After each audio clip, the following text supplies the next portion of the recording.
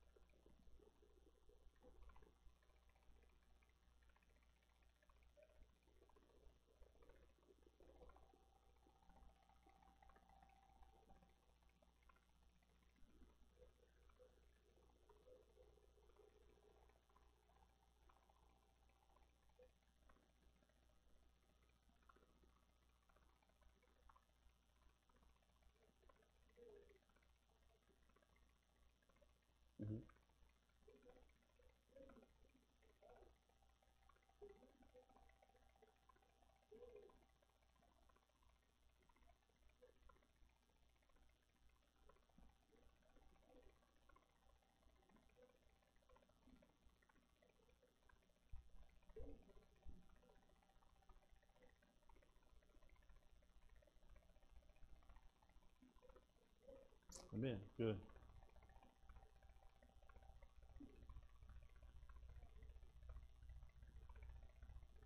Okay. Amen.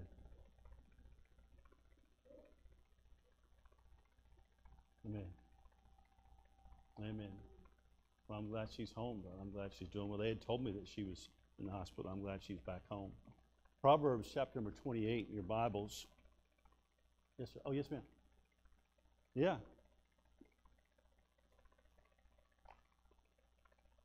Amen. Yeah.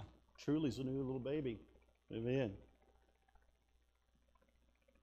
Proverbs 28 and verse number 26 uh, this afternoon. I wanted to I wanted to give you a thought. Somebody asked me a question a little while ago on uh, why did God put this in my heart, and and uh, the the question was you know in rele- relevance to the will of God for their life and, and an opportunity and a door opened and trying to figure out why would God put something on my heart? Why would I have a burden about something? Why is it there? And so to kind of look at that tonight for a little bit, and we're trying to use a, little, a new a new deal and uh, see how this works. And hopefully, this will be a blessing and a big help to you. Proverbs chapter number 28 in your Bibles, in verse number 26, it says, He that trusteth in his own heart is a fool, but whosoever walketh wisely, he shall be delivered.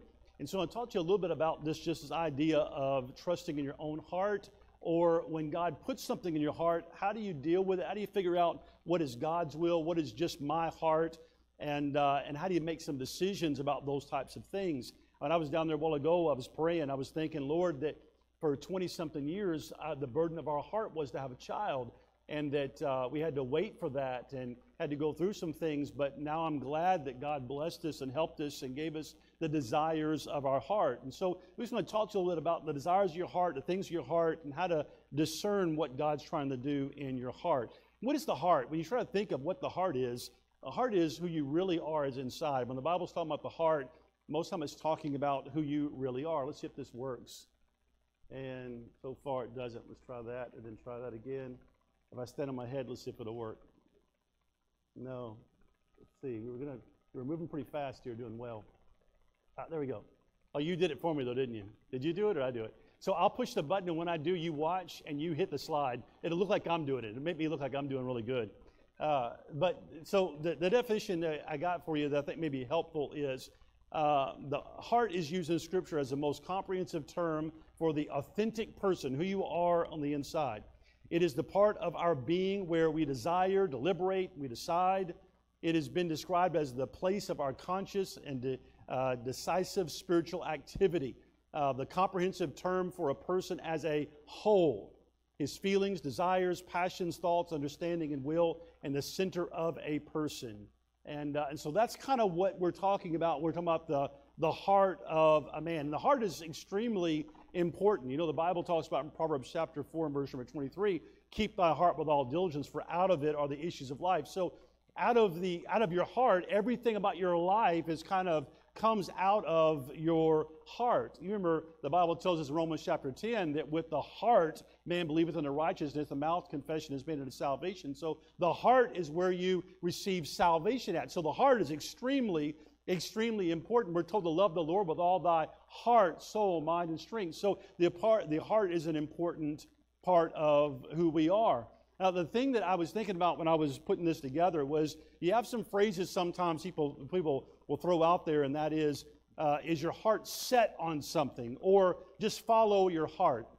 There are songs, there are poems, there's all kinds of things. I looked up uh, yesterday, just did a Google search about how to follow your heart. Boy, there are so many different things out there 15 steps to following your heart to success and all the different stuff and all of them talking about don't listen to anybody and don't don't go with what your mind tells you. Just go with how you feel. And some of them are just sit in a room in a, a blank room and meditate for a long time about what you really want in life and then get up and go do it. And that's how you follow your heart. And there's all those things about following your heart that can be pretty troubling especially when you think about let's see if, he, if he's watching all right, there, next one. All right, especially if you think about this.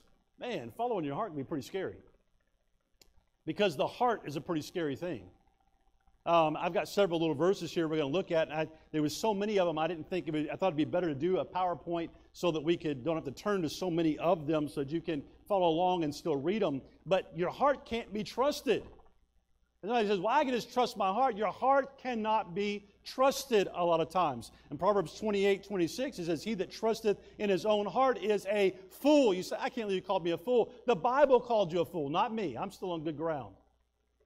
But the Bible says if you're trusting in your own heart and how to get things done, that you are a fool. Jeremiah 17 9 says this The heart is deceitful above all things and desperately wicked. Who can know it? You know what? Who can know the depths of what a heart can do in its wickedness. Somebody says, Man, I can't believe the craziness that's happening in the world.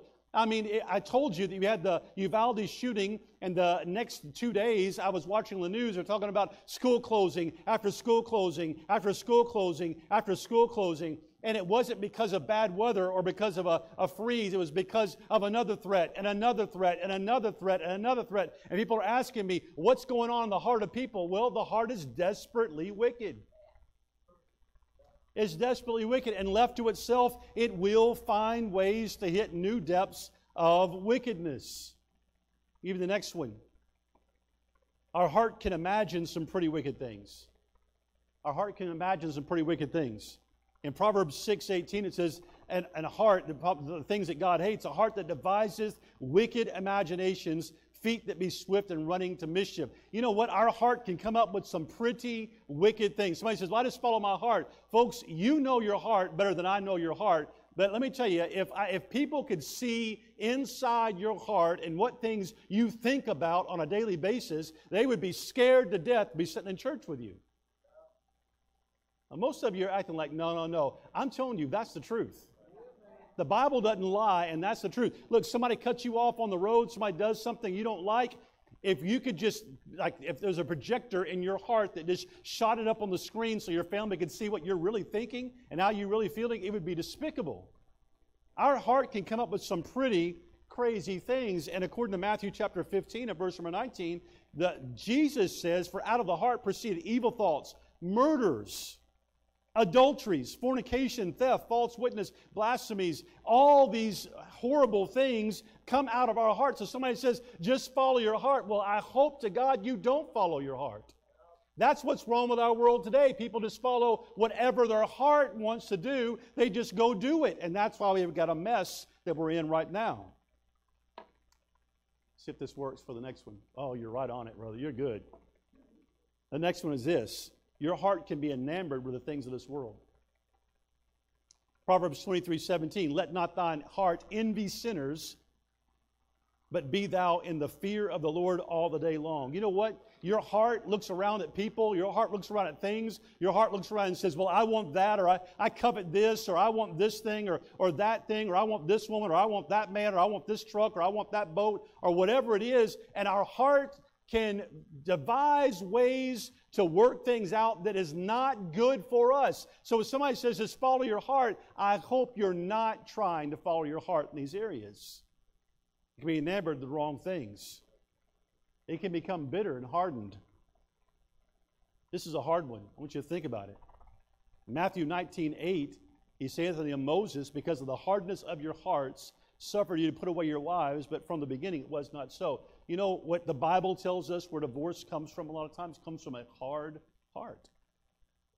Somebody that, you know, they don't, they're not able to put up with things anymore. They're, they're mad at the fact that they did this or they did that or they said this or they said that. And over time, their heart gets hard. And then they're just ready to just throw in the towel when it comes to their marriage over some issue that's gone on in their life. And it doesn't just have to be that. Romans chapter 2 and verse number 5, I've got it up there. But after thy hardness and impenitent heart, treasurest up unto thyself wrath against the day of wrath and revelation of the righteous judgment of God. There are things that we're doing in our hearts that we are hardening, listen now, hardening our hearts against what is best for our lives.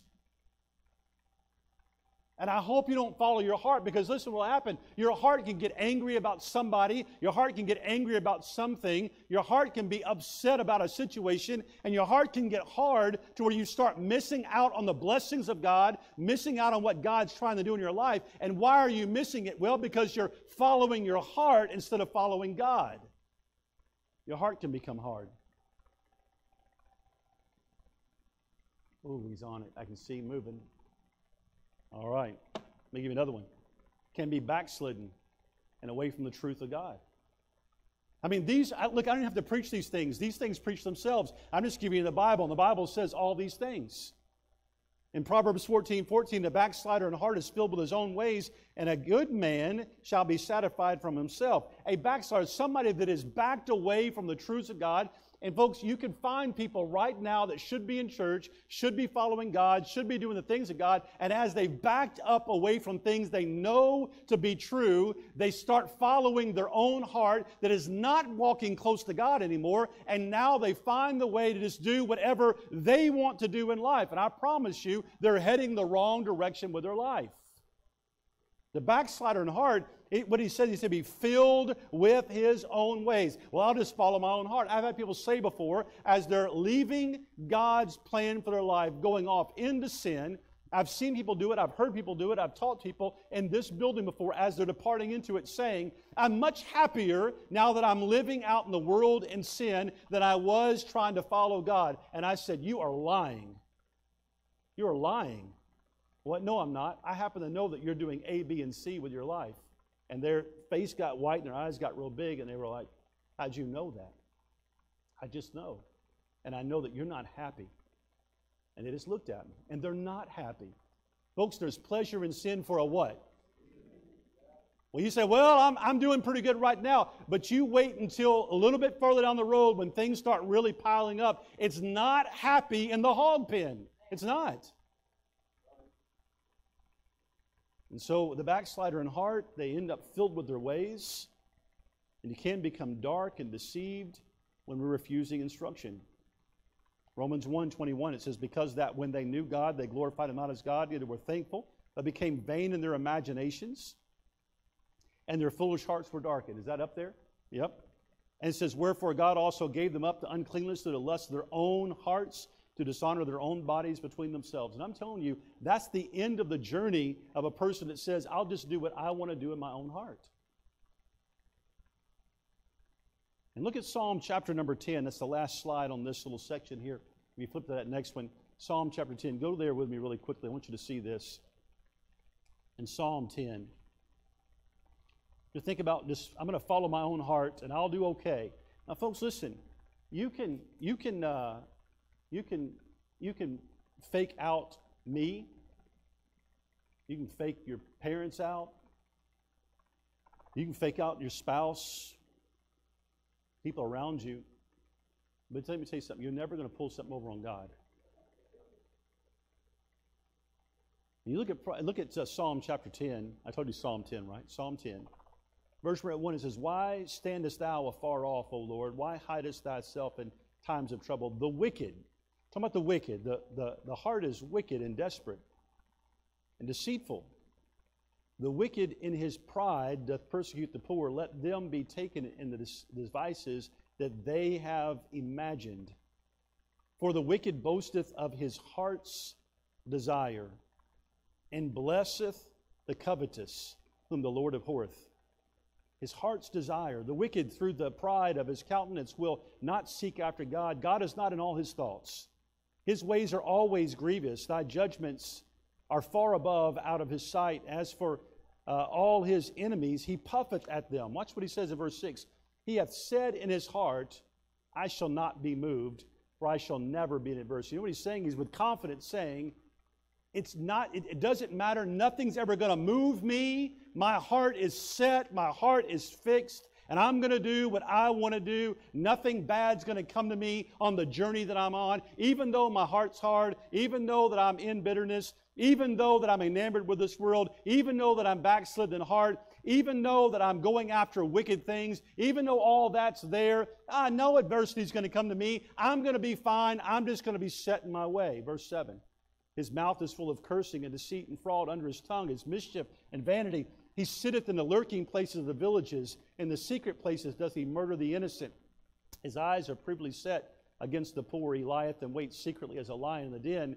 He lieth and wait to catch the poor. He doth catch the poor. When he draweth him into his net, he croucheth and humbleth himself, that the poor may fall by his strong ones. Look at verse 11. He hath said in his heart, God hath forgotten. He hideth his face. He will never see it. You know what he says? This person in their heart says, God, I'm never, there's no adversity coming my way. I'm going to get away with everything I'm doing.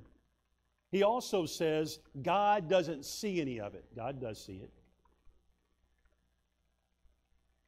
Verse 12 Arise, O Lord, O God, lift up thine hand, forget not the humble. Wherefore doth the wicked condemn God? He hath said in his heart, Watch, Thou will not require it, but He will. So let me say something to you. Don't follow your heart. Don't follow your heart.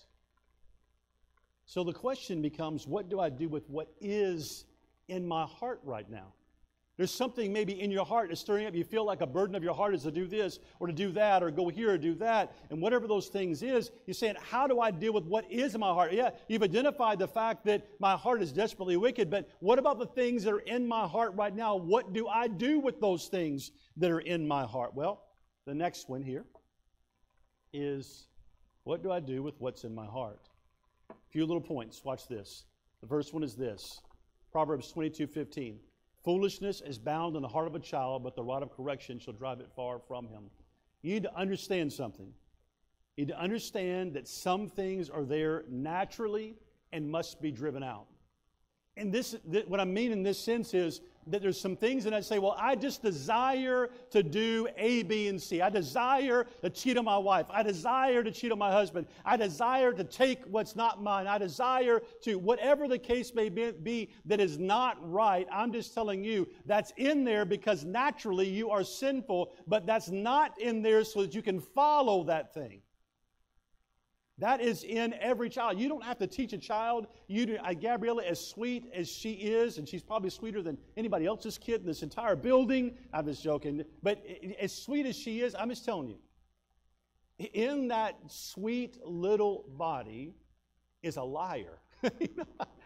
she will tell you things you're like gabrielle that's not true. Yes it is. No it's not. That's not true. And she will take stuff and she'll say mine. I don't care if it's it may be it may be mine. Everything she's got is mine to be honest with you. But but she'll say it's mine it's mine it's a blanket it's mine it's a pillow it's mine it's everything is mine. She would fight you over a coke can if she wanted to there's something in every one of us that just says, Mine, it's mine, I want what you've got. You should give me what you've got and fight over it. It's in there, but that has to be driven out, not nurtured.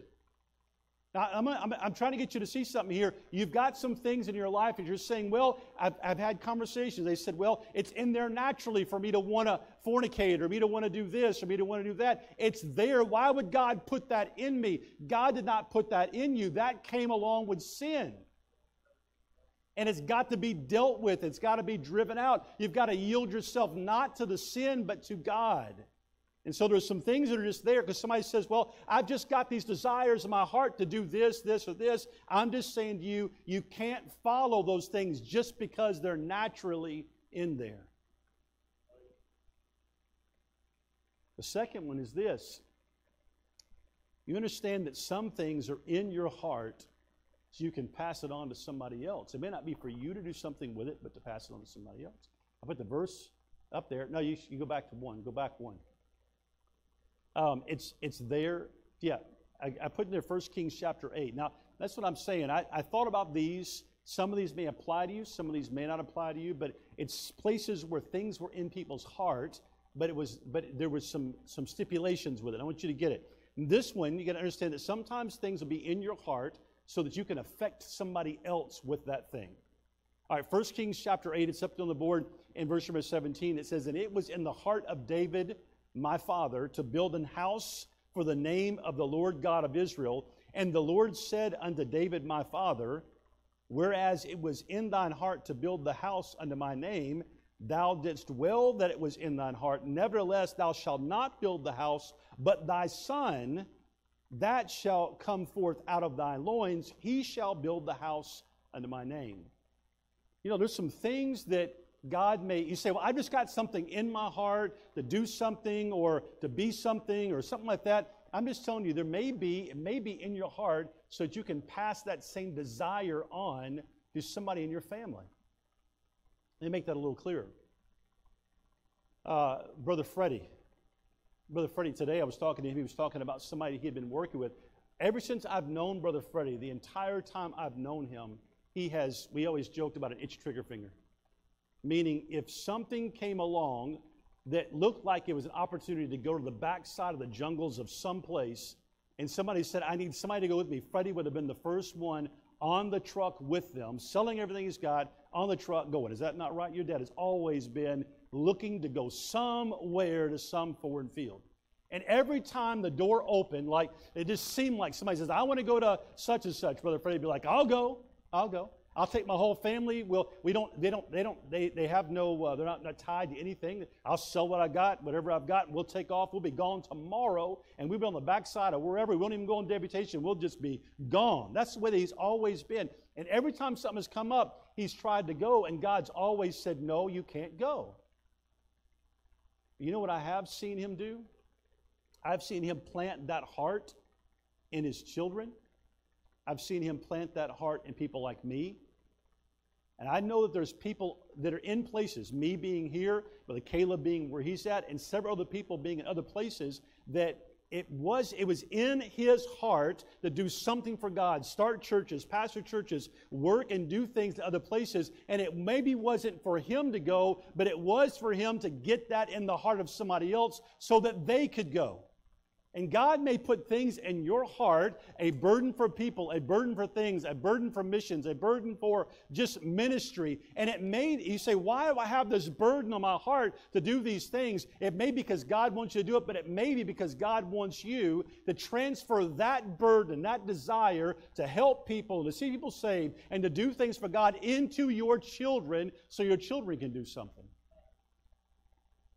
I was talking to um, Brother James the other day. Brother James, well, I got a burden to do this and a burden to do that, and he does. And anybody I've ever met that's ever had a desire to really serve God, they've also had a burden to, God, what do you want me to do? I'm just ready to go. I want to do something great for your name. And he was telling me the other day about this, a burden to do things. And then he reminded me and he said something. He said, it may not be from me, though. He said, My son has already, at that little age, Colton has already surrendered to want to be a missionary one day. They said, you know what? It may be, it may be, James, that God wants to do something, send you somewhere, or it may be that God's given you a heart for missions and a heart for serving God the way you are so that you can give that same heart to your children because it may not be you that go, but it may be your children that goes somewhere and does something someday.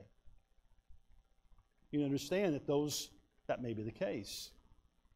The next one, you can flip that next one up. Something else you may understand. You may understand that something that you have a burden in your heart to do, it may be a good thing, but it may not be your specific calling.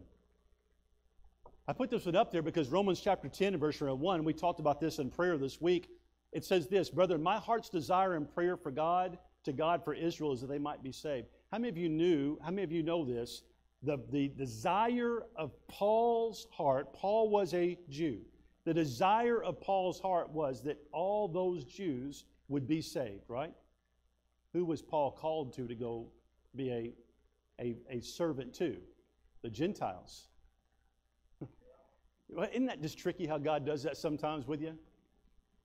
But he had a heart to do something, but did not, he did not call him to do that specific thing. Well, let me tell you something. I hope that every one of you in here has a heart for missions, has a heart for for, for pastoring, has a heart for being a teacher. Now, that may not be your calling, but I can tell you, that may not be the thing you do in your life. You may not be a missionary. You might not be a pastor. You might not be an evangelist, but you know what you can have? You can have a heart for them so that you can pray for them. You can support them. You can encourage them. And that's good for you to have that kind of heart, but that may not be your specific calling in life. Somebody, James asked me the other day, he said, Why do I have a burden for Montana? I said, Well, James, you're from Montana, right? He said, Yeah. I said, Well, you probably have the same heart that David had, I mean, that Paul had, which is the heart that he wants the people where he's from to know the same God that he knows and the same salvation he knows. I said that it doesn't always mean you're called to be there. It might be, but it doesn't always mean that you're called to be there. You can have a burden and not and not specifically have a calling to be there. Next one is what I want you to see. It's Acts 7:23. This that one right there. It's up there. Acts 7.23. I want you to turn there and look at that. And this I want to just pause just for a second when we talk about our heart. Acts 7.23.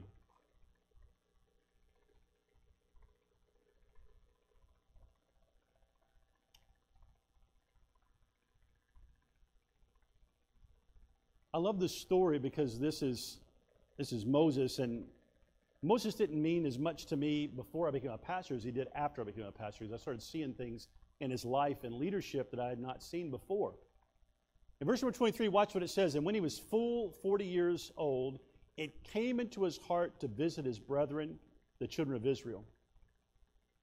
And seeing one of them suffer wrong, he defended him and avenged him that was uh, oppressed and smote the Egyptian. For he supposed, he, he thought, you know, they're going to understand. He, he, he supposed his brethren would have understood how that God by his hand would deliver them but they understood not.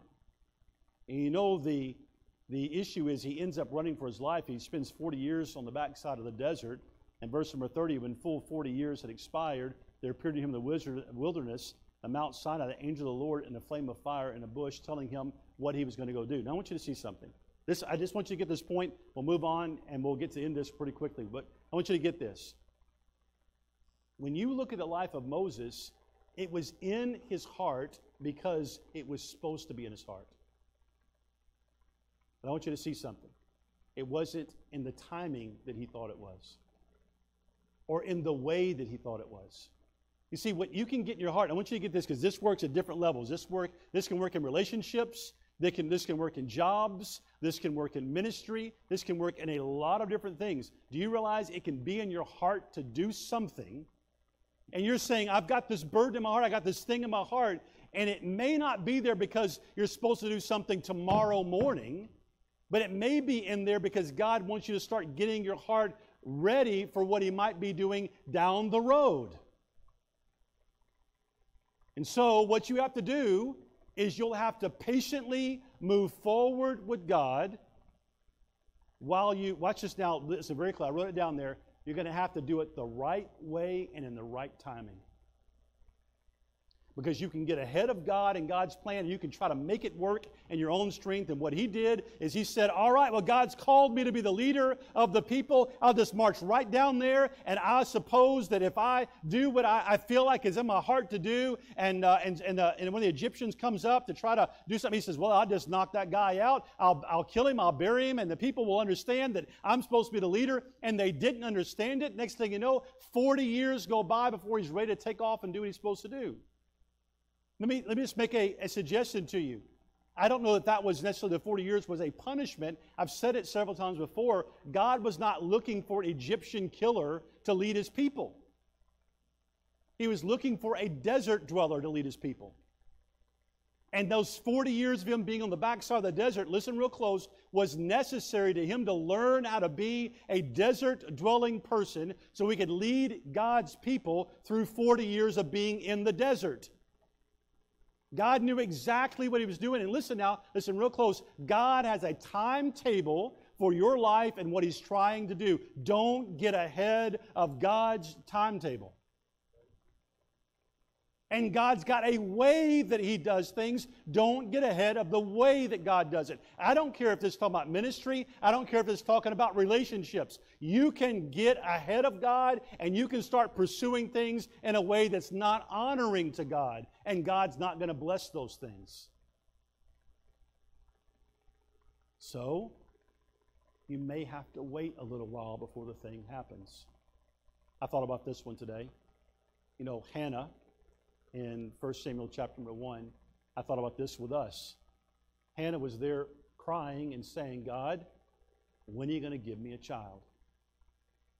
That, and it says it was in her heart. It was the burden of her heart. Let me ask you a question. Is that a natural thing for a woman to want to have children? Yes. It's naturally in there. Is it a bad thing? Absolutely not. Will there sometimes be a waiting? We can attest that yes. You know what you got to do? Listen real close to this. There's a verse that talks about the heart in Proverbs 13, 12 says, Hope deferreth, deferred maketh the heart sick. When the desire cometh, the tree of life. So I'm going to say to you, while you're waiting on what God's doing, listen, don't get ahead of the time frame of God, and don't try to do it in your own power. And while you're waiting, don't let your heart get sick while you're waiting. God knows what He's doing. Just let me finish up by saying this. Let's do the next one. Talking about following your heart and how to understand what's in my heart and why is it even in my heart, how to discern what to do. Just a few quick little things that, that you can look at. Proverbs 16 9, a man's heart deviseth his way, but the Lord directs his, staff, his, his steps. So think about this. You've got something in your heart that you want to do. You know what you need to do? You need to make sure that it lines up with God's direction for your life. Proverbs 19 21. There are many devices in a man's heart, nevertheless, the counsel of the Lord, that shall stand. You know what you better make sure you're doing? You better make sure that what you've got in your heart lines up with God. Even, listen now, even if you're having to wait for an answer that's a good thing, there were several times we were waiting on an answer. God, when are you going to give us a child? Every listen, you try to do this every single month, thinking this is the month by faith for 20 something years, it gets tiring after a little while.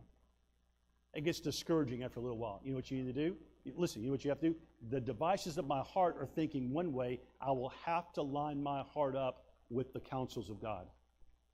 Because my heart will say, God doesn't love you. God doesn't care. God's put you on a shelf. God, it. But then your heart has to line up with what? What the book says. You'll have to stay in the Word. Psalm 119.80, let my heart be sound in thy statutes that I may not be, that I be not ashamed. You know what you have to do? Apply the principles of God to your life and let the principles of God guide you in your life. Next one. Ask the Lord to search you and reveal it. Psalm 139, you know this verse.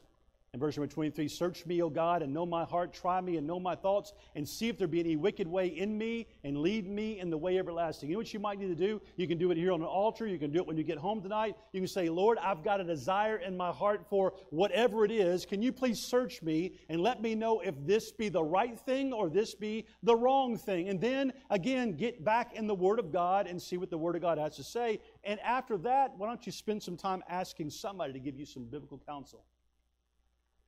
Proverbs 20, verse 5. Counsel in the heart of man is like deep waters, but a man of understanding will draw it out. You know, we were talking today about asking provoking questions to somebody that's got a they got a problem, they got something on their heart. Listen real close. There are people that got stuff on their heart right now. They're trying to figure out is this right? Is this wrong? Is this good? Is this better? What should I be doing in my life? And what you need to be doing is asking God to search your heart and give you direction, looking to line your life up with what the Word of God says clearly, and then maybe asking somebody to give you some biblical advice. And watch now, the answer from God is probably in there somewhere, but you get around somebody that has some understanding and they ask the right questions, they'll get you to see that you've got the answer already there. You're just going to have to settle yourself in what's the truth. And then you, what you have to do, wait on the Lord. Psalm 27, uh, yeah, Psalm 27, 14. Wait on the Lord and be of good courage, and he shall strengthen thine heart. Wait, I say, on the Lord. Should be one of the last slides. Flip the next one. Trust that God's way is better than your own way. Proverbs 3 5. Trust in the Lord with all thine what?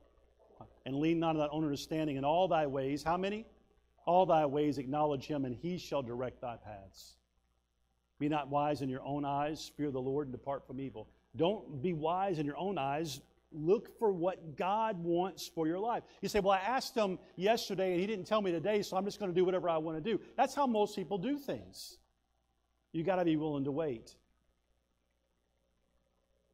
Proverbs 17 3. The finding pot is for silver and the furnace for gold, but the Lord trieth the hearts. You may understand that God may be trying to show you what you need. Now, I want you to think about this for a second. God's possibly in your life right now through sermons, if you'll listen, through situations He puts you in, through scripture that you're reading, He may be trying to show you the very thing you need to fix whatever's going on in your heart. But you're going to have to be someone that's listening and submitting yourself to it. And this is the last slide. Flip it to it. For some, it won't matter what God wants. They won't listen to instruction and they'll do whatever they want to do. So you got a couple of verses, Proverbs 18:2, a fool hath no delight in understanding, but that his heart may discover itself. You know what some people do say, I just want to do what I want to do. I want to let my heart do whatever my heart wants to do. Proverbs 19:3, the foolish foolishness of man perverteth the way his ways, his way, and his heart fretteth against the Lord. You know, the Lord does have a path that He wants you to be on. That all the teenagers are sitting over in another room. And they're all thinking, I want to follow my heart. A lot of them graduating, moving up in life, bombarded by things that their heart wants them to do. And there's, there's, a, there's a will of God for their life, there's a will of God for your life. You know, in Psalm 81:10 it says this, I am the Lord thy God, which brought thee out of the land of Egypt. Open thy mouth wide, and I will fill it. That's what he says. But my people would not hearken to my voice, and Israel would none of me. So I gave them up unto their own heart's lust, and they walked in their own counsels. Oh, that my people had hearkened unto me, and Israel had walked in my ways. He said, Somebody said, I don't want to submit myself to what God wants. I want to do what I want to do. And God says, okay, you can have it your way. But I'm going to tell you, I've tried to do it, I've tried to live a Burger King life and try to do it my way. And I'm telling you, it ends up, God has a way, God has a way of you saying, I'm going to do it my way. And God says, that'll be just fine. Let's just circle in the desert for 40 years. We'll just go absolutely no place for a little while until you learn to trust me instead of trusting yourself. And I'm telling you, that is miserable. What you need to do is just say, I've got something in my heart. All right, start asking God, start seeking God, start looking for counsel from God. And listen, this is what most people do. This happens all the time. I give people counsel all the time. And I try to give them biblical counsel. And a lot of them will do this. A lot of them will say, Thank you, that was really good. And they go out and do the exact thing they wanted to do before they ever came in anyway. That's just what happens. That's what most people do. And I do it too. But that's how you end up in a bunch of messes in your life. The best thing you can do is just trust the Lord and walk with Him and let Him direct your path. Let's stand.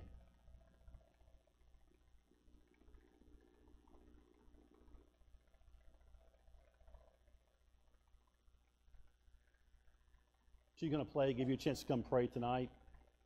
And uh, maybe you do have something in your heart. Maybe something is burdening you and you have a, uh, something you're trying to decide about, trying to figure out. Maybe tonight be a good thing for you to come and just talk to God about it and say, God, search me. See what, see what you want to do in my life. And uh, maybe you're maybe you're doing something, you're going too fast. You need to slow down and say, God, I want to be on your timetable. Whatever it is, maybe tonight is a time to do that. Lord, we love you and we thank you. We ask you to please do something with your word tonight. Tried to preach it. Lord, I pray that your Holy Spirit would make application and help us to take this home and do something with it in our lives. Lord, we love you and thank you. Thank you for loving us enough to write down every one of these verses and the details that you put in your word so that we don't have to trust in ourselves or wonder what we should do. It's clearly written so we can know what to do with our lives. Father, we love you and thank you now. In Jesus' name, amen. She's going to play. Why don't you come pray tonight? If you've got something to pray about, this is the time to do it.